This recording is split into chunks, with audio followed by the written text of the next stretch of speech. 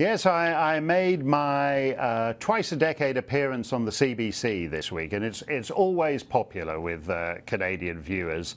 Uh, immediately after I was off the air, uh, Patricia Karpyuk tweeted, "Mark Steyn is horrible." Had to fast forward through that part.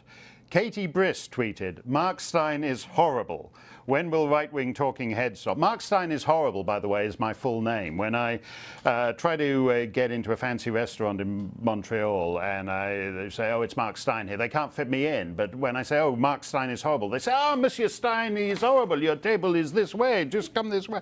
Uh, Katie Brist, uh, Patricia Korpiak, uh, Lukash Zepiel writes, why are you giving this self-important douche Mark Steyn airtime? Be very, be very careful. If you've got a self-important douche. You really want a modest, retiring douche with self esteem issues. They're by far the best kind to have. Darby Carr writes Mark Steyn is actually a caricature of the angry, right wing, frenzied hater. You can see the spittle coming out my mouth. And Matthew Lazid Ryder writes Message on my phone. I was just watching Mark Steyn on Power and Politics. This is terrorism. Uh, thanks a lot, guys. Mission accomplished. See you on the CBC halfway through the next decade.